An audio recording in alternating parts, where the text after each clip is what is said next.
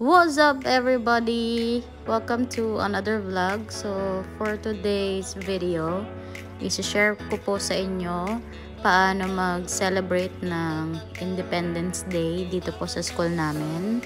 So ngayong umaga, biyahe po tayo papunta sa school.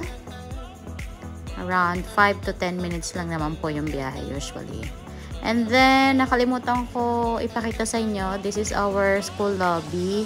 So, pag umaga, dito din namin pinipick up yung mga kids bago namin iakyat sa taas. And then, ito yung likod na part.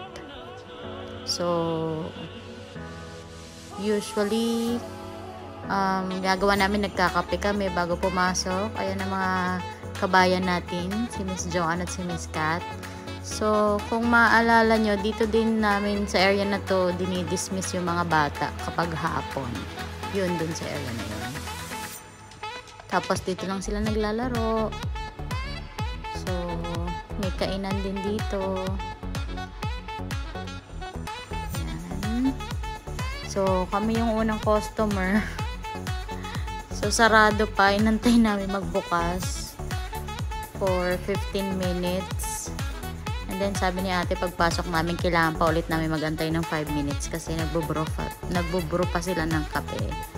So napansin ko, mas mura yung kape dito kesa sa Pilipinas. Siguro kasi dahil madami silang tanim na coffee kasi ang Indonesia talaga ay one of the largest um, coffee builders slash mas marami silang plantations dito.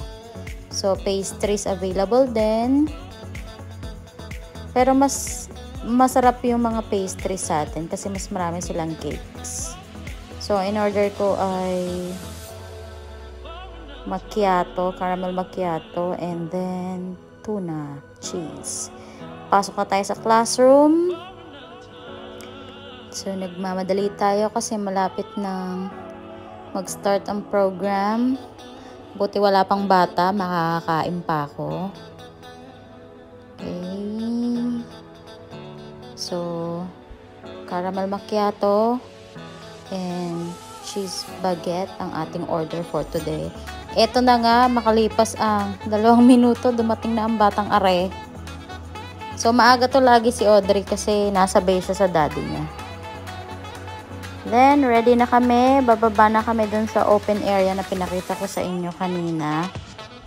So, i-open lang yung ceremony. And then, after nun, ay mag-start na kami ng mga games.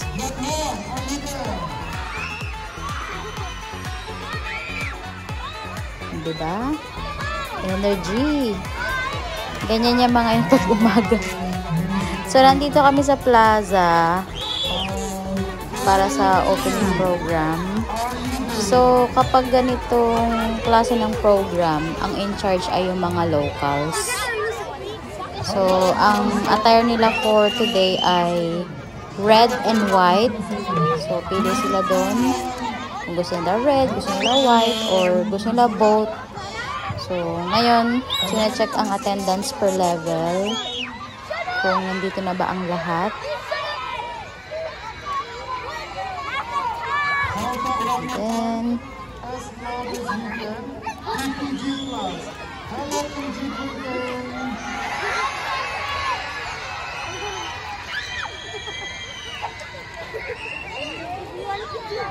Yeah, good morning everyone. Um, good morning parents. konting chika-chika in the morning. So, ang aming PIC for today ay si Mr. Indonesia, can Jaka. everyone say Merdeka? One more time. Indonesia!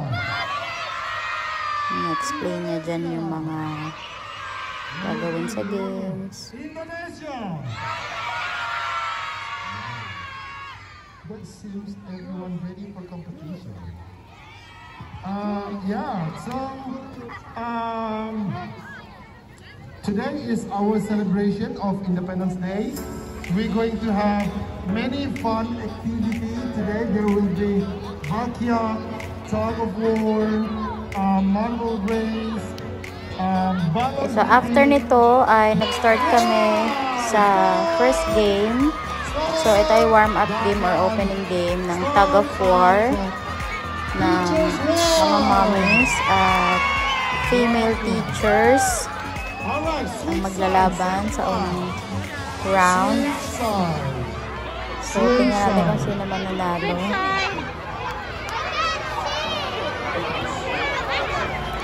Kapag nakita niyo yung mommies na nandito pagkasa-sexy. No, no, no, no standing there. Just stand. Sit down.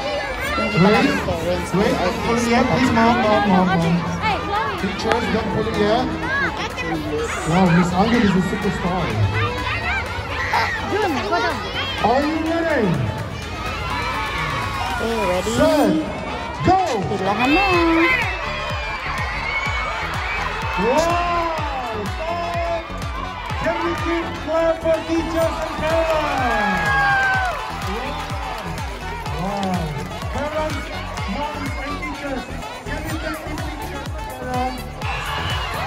Then, sumunod na game naman mga daddy at saka male teachers night.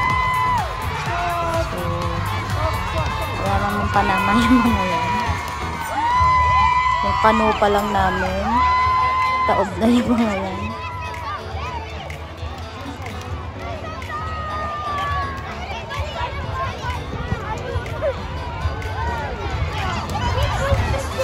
So, switch side to sa pang round.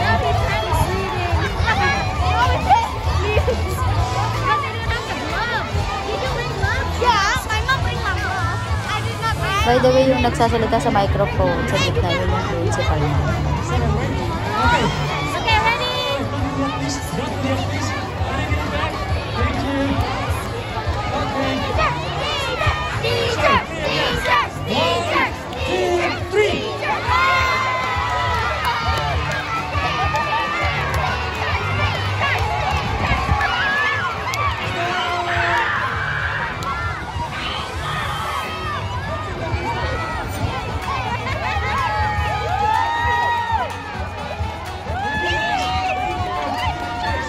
And after nito, so, so nag-games din ng mga bata. Itong game na to nakakatawa. Tawa ako nagtawa dito.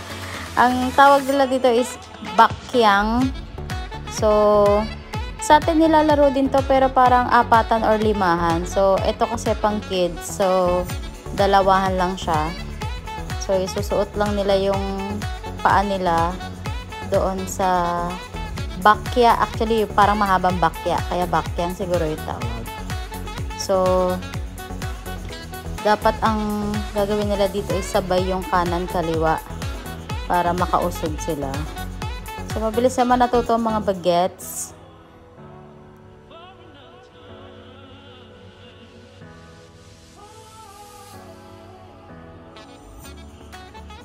Gustong gusto nila yan eh, kahit madapa-dapa sila.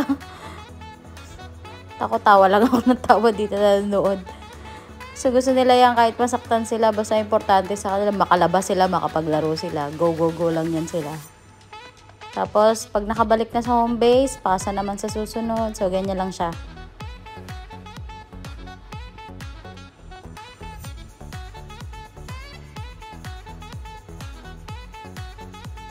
So, ito mga estudyante ko to.